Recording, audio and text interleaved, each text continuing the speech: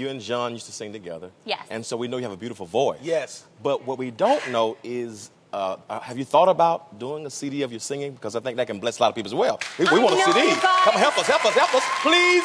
Sing, Please. T, sing. We, we want a CD.